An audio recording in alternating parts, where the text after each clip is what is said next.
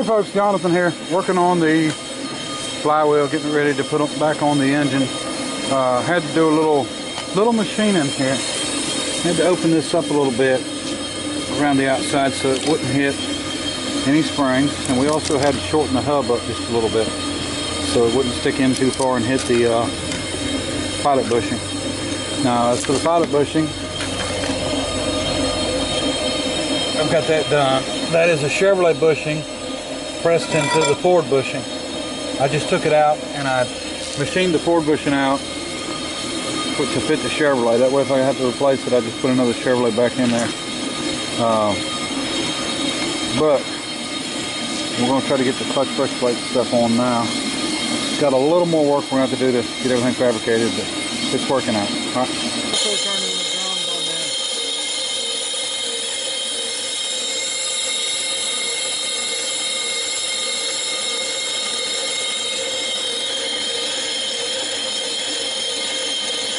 They were in terrible shape. It pitted really bad. So here's what we're dealing with. You see we got uh, some paint in there. Must have been Know It paint. It had to be. Uh, anyway, what we've got is a bunch of fitting and rust and paint. I don't know there's paint in there.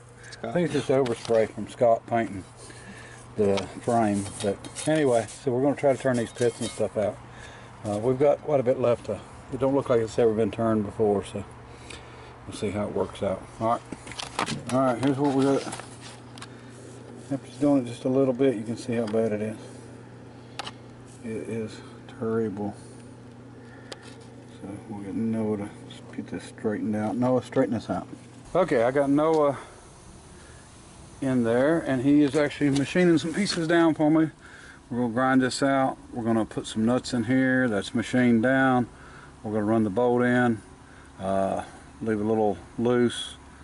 We're going to preheat this and, and weld them bolts or the nuts in.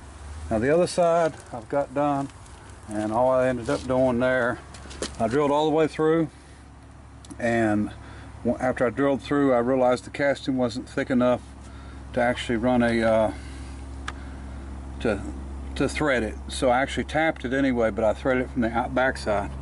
And I just threaded the, the bolt in, tightened it up, and then put a nut on it. That way it would squeeze it together because there's not enough threads in it to hold it by itself. So top's done, bottoms are right. We ended up having to use a GM long throwout bearing. Here's a short, and then make one that's just a little bit longer than this one and we ended up using it to get the, the throw we needed because this is such a long bell housing. So that's done. We used a Chevrolet fork, uh, Ford bell housing, Ford uh, pressure plate, and of course the the flywheel, and then uh, the GM uh, clutch and dart bearing, fork, and transmission. So all we've got to do is something on this one you know, it's, it's butted up good, it's tight. We just got to get something in here to get extra bolt in. And, you know, I've ran years back uh, four speeds and three speeds with three ears on them, one ear missing, and they held up fine. But we want to do this just just because I want to. And the center hole in this bell housing and this transmission are exact, so this thing slides in perfect. There's, you know, there's no side to side, up, down to play, anything like that. So this is going to be just fine. So we get this other one done, and then we can uh, we can actually set the engine in and that's what we're sort of waiting on we want to get it down in the frame and start getting things hooked up okay folks we've got the uh, engine in and you can see the clearance on the oil filter so that's no problem. That's a long one too. I can get a shorter one but that one I can put on and take off no problem. We did get the uh, fuel new fuel pump on and we've got everything where it needs to be. Uh, we're just going to continue to put parts on, you know, clean stuff up that needs cleaned up, paint it. We should be ready to put the pedals on and everything when we get ready to, well, we'll probably have to set the body back on first, but uh, the only thing I've got to do is I, I actually set that pedal up for a uh, Ford fork, and I've got a GM fork in it now. It's a clutch fork, so we'll just have to do a little changing on it. Not a big, you know, issue there. Uh, I have got these made up. Actually, Noah machined them off for me. Uh, we'll have three of them on here, and I'm going to preheat and weld these nuts on. Uh, we're not going to worry, you know, a whole lot about it, and then we'll just touch it back up. But uh, like I said, that it would work fine with the three, but we want to go ahead and do four, and to make sure. And I'm going to be making a rear cross member, of course. I'm going to change this uh, mount out. The mount is not any good, and the sensors actually broke for the speedometer. This was for an electronic speedometer. So, you know, now you can run GPS speedometers and stuff. So, I, I usually just run a GPS. So, regular GPS, and it shows you anyway. So, gotten so used to that with my rollbacks and you know, and trucks and stuff. So. Uh, anyway, coming together pretty good now. It should, all this stuff here will will go together quick. We've got you know, radiators ready. Uh, we just got to do the hoses and uh, belt. Uh, generators done, already cleaned up, painted. Starters same way, cleaned up, painted, ready to put on, and uh, everything's looking good. We've got the headers done. We just gotta gotta finish the welds up, and we'll paint them, and they'll be ready to put on. Uh, hoping to have it painted here soon, but we've got to fight around the weather for that, make sure that we get the weather right. So uh, anyway, so I had to go back to the doctor today, and they've done some more work on uh, a place on my back, and uh, trying to get everything figured out. Uh, I have put on some weight. Uh, I haven't smoked anything since uh, not this past Monday, the but the Monday before that. So this is what Wednesday now, so it's been a week and two days. And believe it or not, I put on eight pounds that quick, so I'm going to have to slow down and be a little bit more careful about what I eat.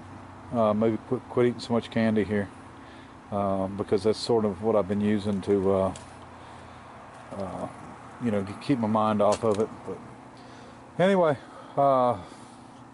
we'll get it. it you know, quitting smoking is not not fun to do. Uh, like I said, I went from, uh, you know, as I in increased over my lifetime, I started smoking when I was 13.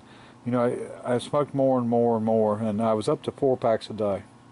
And uh, that's all, you know, shameful, but I mean, you know, I'm, I'm not going to BS anyone. I'll be honest with them. So, but, uh, but yeah, four packs a day, and I just quit cold turkey and you know there's going to be side effects from that but you know we can live with them we're going to work out whatever we got to work out so but uh, anyway uh, I am going to put my email address down in the in the description below here and for anybody that's uh, you know if I can help them in any way trying to quit you know I'm not saying that I'm worthy of helping anyone uh, but you know I haven't had any issues. I haven't had any real, you know, wants to to smoke a cigarette. You know, I I uh, joke around about it, but I mean, I don't think I could actually pick one up and smoke it without possibly even getting sick. So, but anyway, uh, I'm you know definitely not going to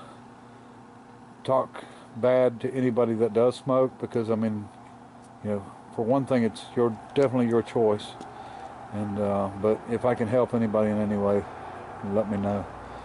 All right, I appreciate everybody watching, and we'll be back on this thing. I, you know, sorry not to get a lot done. We did get the rotors or the drums turned. Uh, let me grab him. I don't know if I showed him once it was done.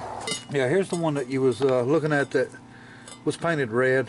Uh, Noah done this one. This was the first first drum he's turned on his own, so he done a really good job on this one.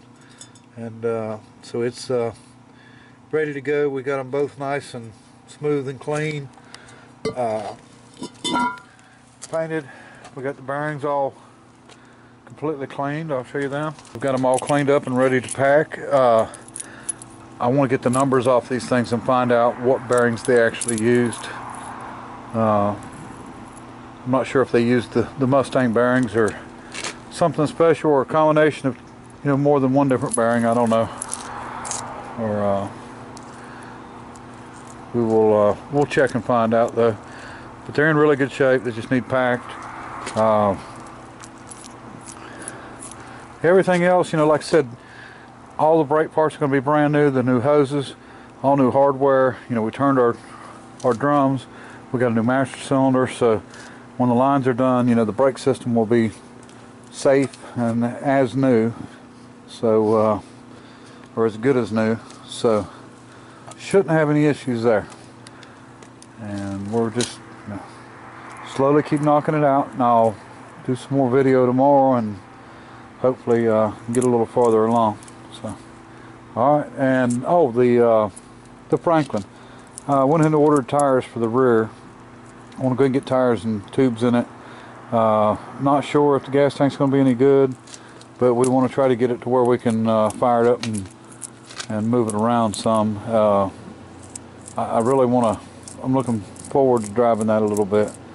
Uh, you know, it's mechanical brakes, so we don't have to, you know, worry about running through a brake system on it. Uh, I don't know how well it's going to stop, but you know what they say: if the brakes don't stop you, something will. Uh, that would be really fun in a wooden frame car. The, uh, you know, hitting a wooden frame tree, I guess. Anyway, we're going to uh, we're going to play with it here soon, but I want to keep trying to get this finished up. So, anyway, uh, appreciate everybody watching, and I'll do more tomorrow. All right, bye.